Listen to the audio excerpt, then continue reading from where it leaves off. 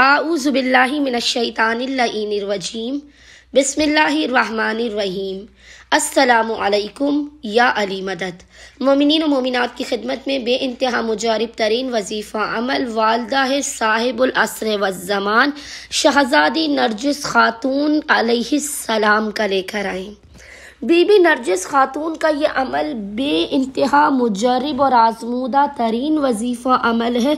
लाखों मोमिन का ये आजमाया हुआ वजीफ़ा अमल है।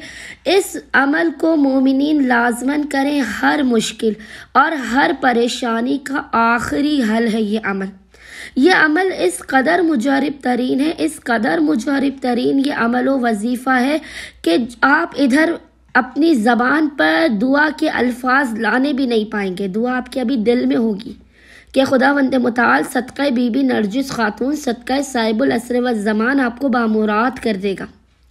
आप जो भी मांगना चाहें दुनिया से, दुनिया की जो भी आपकी हाजत हो, जैसी भी हाजत हो खुदा वंद मताल आपको लाजमन अता करेगा, सदक़ बीबी नरजिस खातून। चाहे रिस्क में तरक्की हो, बरकत हो, हर काम में आसानी हो मोमिन इस अमल को करे, वो मोजात को होते हुए देखेंगे, ये बेपनाह बेपनाह मुजरब तरीन वजीफ़ा अमल है।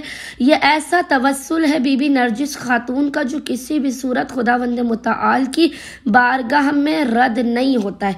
ओलमा कहते हैं, शदीद तरीन मुश्किल और हाजात के लिए इस अमल को आप एक मरतबा लाजमन, बेशक आजमाने ही की नीयत से करके देखें।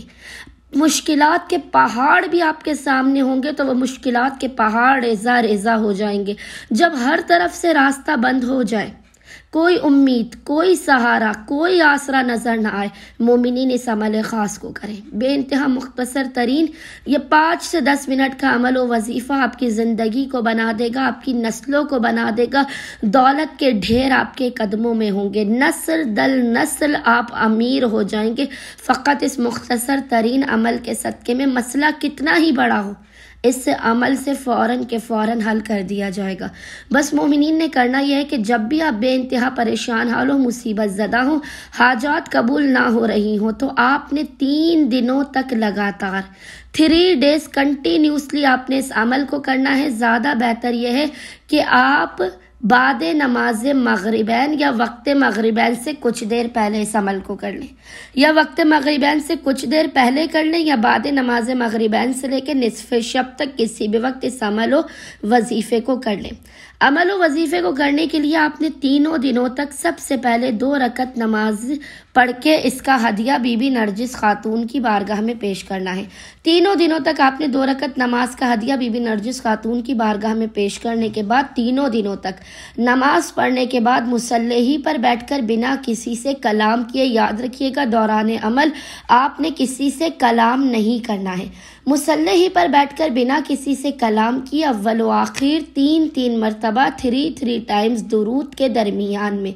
सबसे पहले आपने सूरह कौसर की। सूरह कौसर की आपने सत्ताईस मरतबा ट्वेंटी सेवन टाइम्स तिलावत करनी है। सत्ताईस मरतबा ट्वेंटी सेवन टाइम्स सूरह कौसर की तिलावत करने के बाद आपने दो सौ मरतबा टू हंड्रेड टाइम्स इस ज़िक्र की तिलावत करनी है और वो ज़िक्र आपको इन ताला स्क्रीन पर लिखा हुआ नज़र आ रहा होगा। वो ज़िक्र है या अलीमो या कदीर। या अलीमो या कदीर। इस ज़िक्र की आपने 200 मरतबा तिलावत करने के बाद पेशानी को सिजदेगा पर रख कर खुदा वंद मुताल को ज़माने के इमाम का। बीबी नरजुस खातून के हक का वास्ता देकर अपनी हाजात को तलब करना है। बलाओ मुसीबतों, परेशानियों के खात्मे की दुआ करनी है। इन तालाजल सदका शाहजादी नरजिस खातून मोमिन को उनकी हाजात अता कर दी जाएँगी। अल्लाह सल मोहम्मद व आल मोहम्मद अजल फ़राज अजमाइन